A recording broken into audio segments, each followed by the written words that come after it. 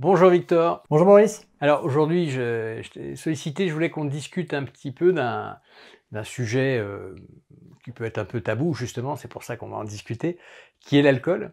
Et alors l'alcool, il y a plein de choses à dire. Hein. Euh, et d'ailleurs, on pourrait y revenir, et notamment si c'est un sujet qui vous intéresse, ben, dites-le nous. Si vous avez des questions particulières sur lesquelles on puisse apporter quelque chose, dites-le nous en commentaire. On se fera le plaisir de, faire un enregistrement euh, à ce sujet. Donc là, aujourd'hui, je voulais qu'on aborde euh, l'historique, euh, une brève histoire de la consommation d'alcool par les homo sapiens que nous sommes. Parce que les, choses ne sont pas forcément très claires à ce niveau-là, et je crois qu'on peut éclaircir un petit peu le sujet. Finalement, à partir de quand Homo sapiens a-t-il commencé à euh, consommer de l'alcool?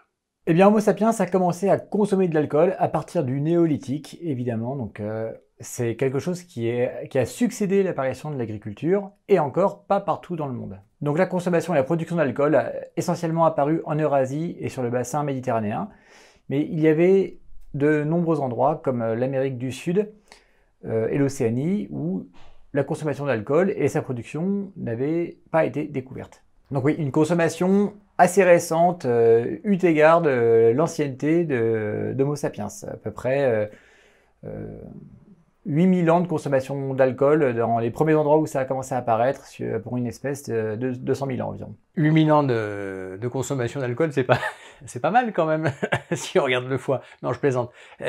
donc effectivement, ça reste très faible hein, à l'échelle euh, du genre humain, 2,5 millions d'années, d'Homo sapiens, hein, plus de 150 000 ans, effectivement, c'est, très récent.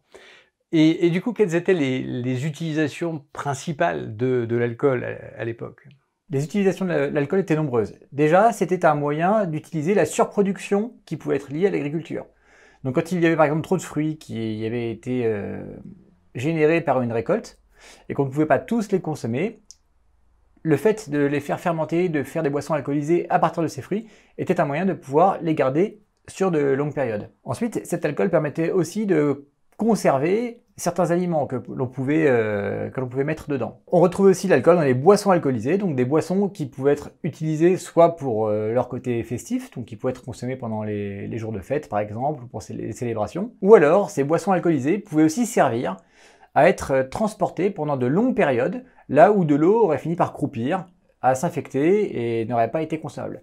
L'alcool pouvait être gardé pendant bien plus longtemps et permettait d'avoir des boissons qui restaient consommables sur de longues périodes. Alors là, tu parles de, boissons faiblement alcoolisées, euh, sur ce qu'on a pu retrouver euh, à l'époque, et donc euh, qui permettaient de, pouvoir tenir en l'absence d'eau, enfin de stock d'eau potable. Hein, c'est ça, j'imagine, dont tu parles.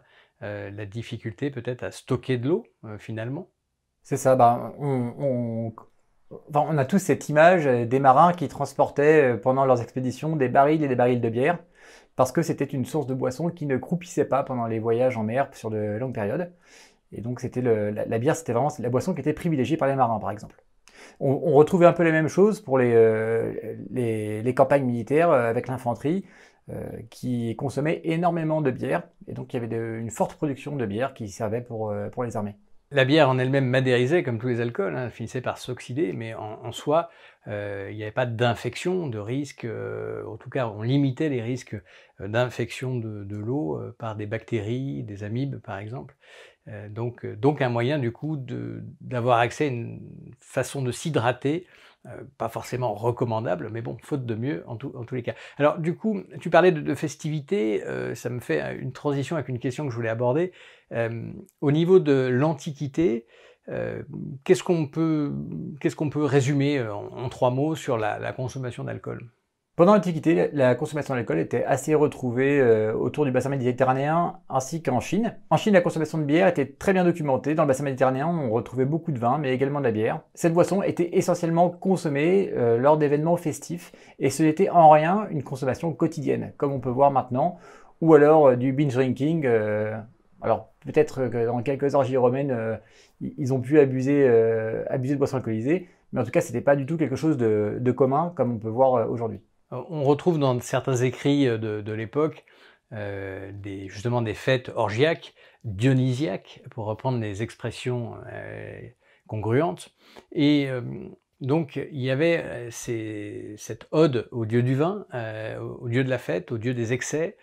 et donc finalement, c'était des périodes à la fois limité dans le temps, limité dans l'espace bien sûr, c'était entre guillemets un peu l'exception finalement, c'était pas le quotidien, c'est bien ça Non, pas du tout. Bah, c'était évidemment des boissons qui coûtaient plus cher que, l'eau du puits et elles étaient réservées à une certaine classe de la population et pour certaines occasions. Donc finalement, si je résume, on avait à la fois l'alcool euh, avec un titre alcoolique relativement faible qui permettait d'éviter par exemple d'avoir une eau qui s'infectait, qui était impropre à la, consommation pour des voyages par exemple, et euh, de l'autre côté des boissons plus alcoolisées, même si ça titrait pas forcément à 15 degrés, euh, mais euh, qui pouvaient titrer à 10, 12, qui étaient donc notamment sous forme de, vin et qui étaient plutôt présents lors des fêtes. Exactement, surtout qu'en plus la vinification n'était pas aussi bien maîtrisée que maintenant, et euh, en fait on, arrivait, euh, on arrivait jamais à des vins qui faisaient 13-14 euh, degrés comme on peut voir aujourd'hui. souvent les vins étaient un peu vinaigrés et en fait on descendait plus bas que 12 degrés en général. Moi je, me souviens, mes grands-parents, alors j'avais des grands-parents à la fois qui habitaient à la campagne pour une partie d'entre eux et à la ville pour une autre partie, avec des métiers complètement différents, et ça donne une illustration qui, je trouve est intéressante. Et, donc, euh, effectivement, à l'époque, euh, c'était souvent du, 10 degrés, du 11 degrés, euh, après, des fois, il y a le 12. Mais en gros, effectivement, c'était des, titres alcooliques qui étaient beaucoup plus faibles que, ce qu'on peut trouver sur un baume de Venise à 15 degrés aujourd'hui, par exemple, hein, pour ne citer que lui. Et hum, on a l'impression qu'il s'est passé quelque chose au lendemain de la Seconde Guerre mondiale, parce que si on regarde jusqu'au début du XXe siècle finalement. Alors bien sûr, il y a eu des, moments un petit peu tumultueux avec la prohibition euh, de l'alcool, notamment aux États-Unis. Enfin bref, il y a eu différents mouvements hein, déjà euh, qui pouvaient avoir pour origine certains comportements liés à une consommation aiguë d'alcool. Bref, peu importe. Toujours est-il que dans les, dans les campagnes et dans les villes, on n'a pas retrouvé de façon évidente avant la Seconde Guerre mondiale, euh, on va dire première moitié du XXe siècle, une consommation dans le quotidien euh, d'alcool, et en tout cas pas en ce qui concerne des, euh, des boissons fortement alcoolisées, ou, enfin fortement, entre guillemets, c'est-à-dire des boissons type vin, c'était plutôt éventuellement des boissons type bière. Je prends un exemple en, en campagne avec la consommation dans le quotidien de cidre, euh, qui était fait donc euh, à la ferme, et euh, donc avec un titre alcoolique tout à fait faible, hein, puisque c'était du cidre doux au départ, donc plutôt de l'ordre de 2 degrés, éventuellement 4, 4,5 par la suite. c'est pas négligeable hein, si on en boit des litres, bien sûr, mais la consommation était tout à fait limitée au repas, et à quelques verres lors du repas. Et le reste du temps, il y avait une hydratation avec de l'eau, tout simplement. Et ça, c'est intéressant parce que le vin n'intervenait que le week-end et lors des fêtes. Euh, où là, par contre, il y avait bien sûr des excès qui, faisaient partie de la fête, finalement.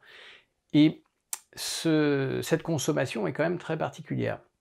Ça veut dire que dans le quotidien, finalement, la consommation d'alcool n'était pas euh, de zéro, hein, loin de là, mais elle était très loin d'être celle que l'on observe aujourd'hui. On va y revenir dans un instant.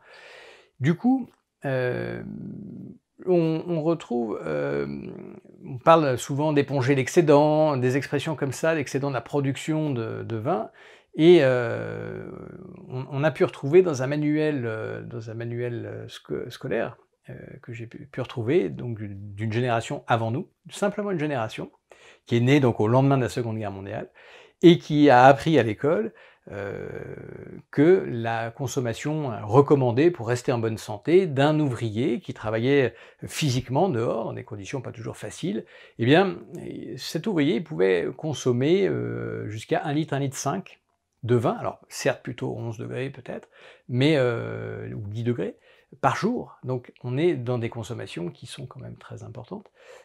Qu'est-ce qui s'est passé au lendemain de cette Seconde Guerre mondiale? Donc, au, lendemain de la Seconde Guerre mondiale, il y a le commerce international qui a commencé à arriver, la mécanisation de beaucoup de, production agricole et de beaucoup de production euh, de boissons alcoolisées. Et en fait, des, surplus de plus en plus importants euh, pouvaient être convertis en boissons alcoolisées. La production est devenue de plus en plus importante.